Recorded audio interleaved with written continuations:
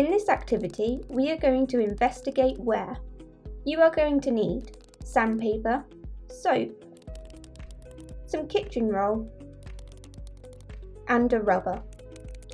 So, what do we need to do? First of all, take the rubber and rub it forwards 10 times on a smooth tabletop. Leave the rubber shavings in a pile. Next, take a sheet of sandpaper. Rub the rubber forwards 10 times. And again, leave the rubber shavings in a pile.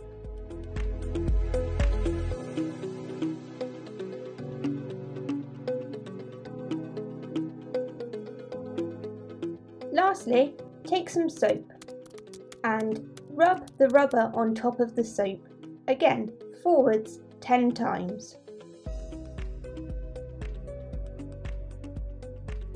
Notice the different amounts of shavings we get on each surface. Which surface do you think caused the most wear?